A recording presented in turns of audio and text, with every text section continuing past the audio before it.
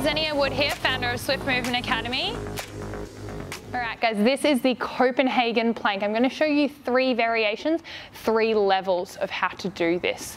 Um, this is a great adductor strengthening exercise, but also a really good tester to see where your adductors are at. It's an isometric hold, so we're really going to brace and hold through that groin, build some strength through there, and build, build some resilient adductors.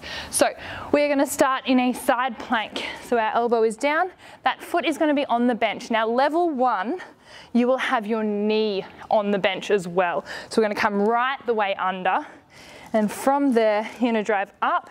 That under leg is also gonna come up and squeeze into the bench.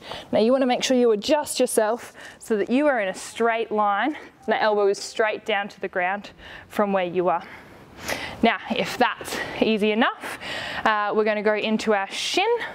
So you'll move back a little bit and it would be the same thing here or our level three, which is generally where we test, is going to be on the toe or on the foot. So from here, you're gonna come up and pushing down in through there. Holding that under leg too, we don't want it to drop off, that can happen. Um, and so it's okay if it hangs, but if it falls, that obviously concludes your rep. Um, but you can, to maintain it, bring that leg up in front too.